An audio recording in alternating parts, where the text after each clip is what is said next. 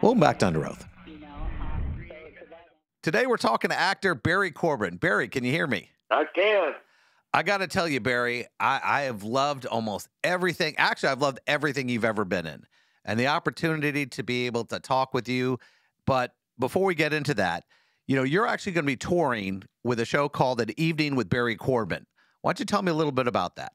Well, it's uh, uh, it's just a, uh, an overall view of my career. I, I start out uh, and uh, do a little piece of Shakespeare, and then I talk about uh, growing up in West Texas and uh, in my early career in the theater back in the in the East there. Then I, I talk about uh, a little bit about the movies, but mainly I save that for the second half of the show, which is question and answer deal. Open it up to the audience for questions and answers. And how many cities are you going to be touring? Uh, well, so far I've done about, uh, I think I've done 15. Let me ask you a question about how long is the show? Uh, it's uh, it, it runs about two hours, and then we have a. Then I stay around, sign autographs, and take pictures with people as long as they, as long as they want to, you know. So I'm usually there for three and a half, four hours. That's a haul. You know, the question I I, I do stand up, so I do 45 minutes at most. I mean, two hours on the stage alone. I mean, that has to be a little exhausting. Well, it, it's it's a little tiring, but it's it's fun. You know, I, I get uh, it's energizing. Really, I get I get a lot of energy from the audience. I just watched another show you were in called The Ranch, and I've been uh, tracking you on television for a long time. You know, do you see there's a difference now between a show that like streams where you can watch it all at one time, or one you have to wait every week for? Well, I don't know. I I don't do the streaming thing because I I, I can't uh, I, I can't concentrate on that thing that long. I do, uh, you know, I'll I'll watch maybe two episodes or something, and uh, then let it rest, go back to it later. But uh, you know, a lot of people sit and watch the whole uh, whole uh, show, a whole season in one sitting. I, I don't know how anybody does that.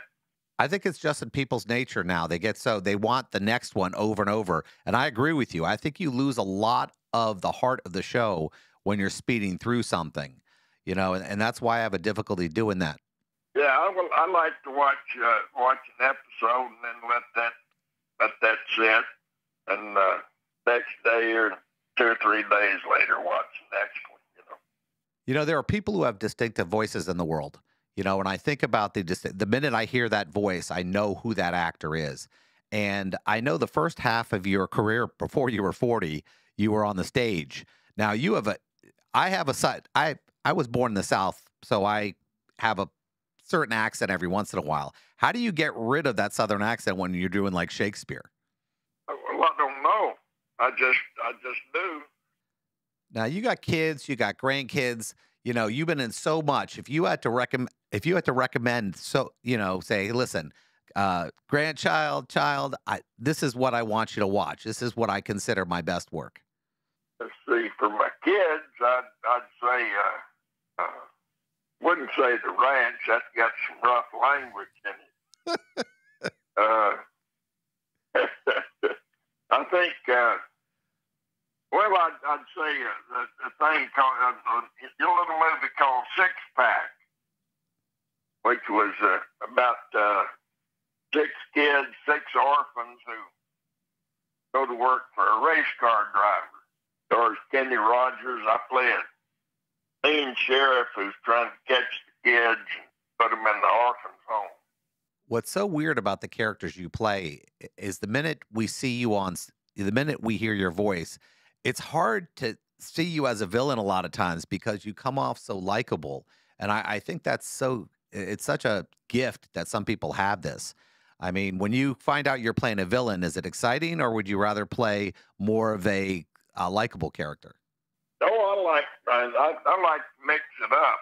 I like uh, I like play a, a comedy, and then I like play a one that's a little more serious. I always try to find something com- uh, comical about it because I think there's a, a market for that. You know, I think we ought to keep things a little bit light. You know, I think when we we think about some of your iconic roles, I think about you know the general you played in War Game because there's a quote that I can't get over, and my producer actually said you have to ask him about this quote, and he goes because he knew it by heart, and it was like, damn it, I'd piss on a spark plug if I thought it did any good. I mean, do you make a line like that your own, or is that just what it's on the script? Well, it was uh, that was an accident. What what happened was a guy that uh, that Matthew pushed out of the way of the computer was the, was our technical advisor. He was an Air Force major, and he said, "Wait a minute, I'd never let this kid in the computer without the direct order from the general." So John Badham, who was directing, said, "Can you think of a colorful way to order him into the computer?" And I said, "Yeah, I believe I can." He said, "You want to tell me what it is?" I said, "No, let's just shoot it." so, they, so they did, and everybody laughed, you know. So he said, "We had to do it again." I thought it just, I thought I was just making a joke. that I didn't think anybody use it. He said, "No, let's do it again. Uh, everybody be serious." We did it again. I, I still thought they'd replace it in in in post production, but they didn't. They kept it in, and uh, so that was that was how that came about. I just I just said it off the top of my head. That's hysterical. I I I, I love a back end story like this, but what I really love best is you didn't even get into film or television till uh, into your 40s, and you had already been performing for 20 years on stage. Did you feel like you had an advantage over a lot of actors because of that 20 years of stage work? I think so. I think uh, you know that's good training for you. You know, that, uh, uh, I think it was Walter Matthau said that uh, film acting is retirement acting. Drag out all your old tricks you learned in stock, and that's pretty much true. You know, you you've had you had 20 years, and then you had 40 years. You know, on television and film.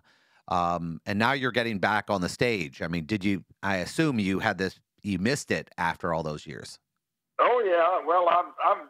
I'd go back to a do a play once in a while, but uh, I haven't had time. And and the, you know, when I was raising kids and all that, now I'm. Uh, I'm kind of. I got great grandkids, and I've just.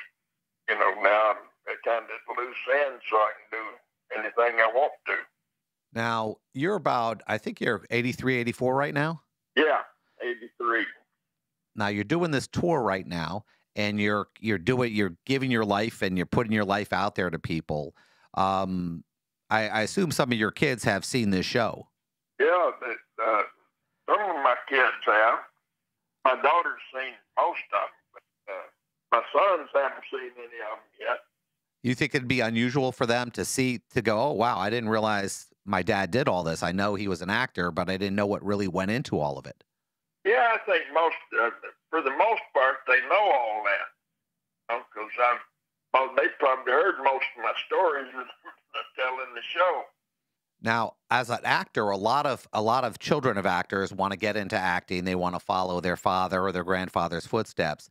Did you ever have to, you know, give the hard news to somebody? It's going to be a hard life. It's not going to be easy. Oh yeah, yeah, my my youngest son is an actor. He's uh, uh, you know, he does work once in a while, and my uh, grandson, my youngest grandson, is an actor. He's in a show called The Chosen right now, and uh, let's see, my uh, got a great grandson that's sort of sort of a fan of the theater. He might might turn into an actor. I don't know whether he's going to or not, but he says he wants to. Uh, most of them, though, are not. Uh, you know, most of them are not in the business. Now you've had this unbelievable career, and it's still going. And I'm sure people always ask you for advice as a starting actor. You know, what advice would you give them? And I know it's a generic question, but somebody who's been out there as long as you have, you know, I can't even imagine if you said, what is the most important thing you can do if you want to get into this field? Well, if you can figure out something else you're ready, you, you'd like to do, and uh, that uh, you can make some money at, I'd, I'd suggest you do that, and uh, and and do the do community theater for your for your acting because you can uh, as an actor you don't get to act a whole lot. Most of the time you're, you're looking for work, and uh, it's uh, it's you know it's it's tough business. One of the things I liked best about your your history was the reason you got into television and film acting, and it had a lot to do with a blackout in New York and you know some craziness going on. Is that what really pushed you into television and movies? Well, sort of, but that's that was always my goal anyway. I always was interested. I, that my first interest in it was because of the B westerns I used to go to when I was a kid. So it, uh, you know, it was uh, it, was always in the back of my mind that that's what I wanted. I wanted to do to do uh, do western movies. Now, as far as acting goes, I know a lot of actors have a problem seeing themselves on TV or going to the movies and watching themselves. Is that something you carry, or are you good with it? Oh, I'm fine with it. It's uh, I, I like to wait and see them later. You know, I, I like to see my old movies because it's like watching the home movie. It brings back memories of uh, of the experience. But uh, go see a movie I just finished. I'm not I don't really care about that much.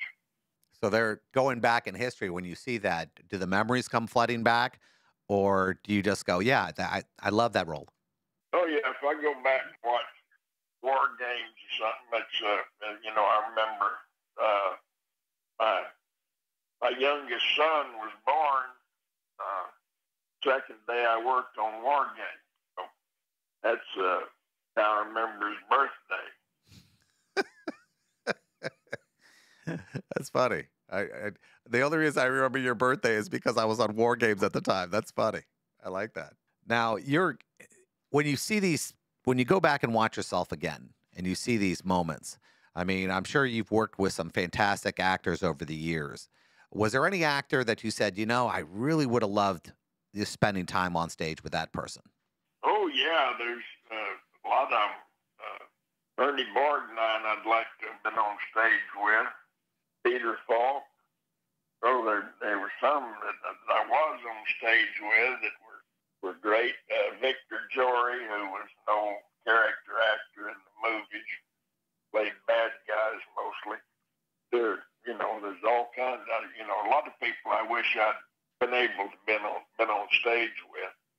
Now, the tour that you're going on is I'm trying to figure out. Are you are you touching through Florida or is it going to be mainly the West Coast? Oh no, no, I'm I'm ready to go anywhere.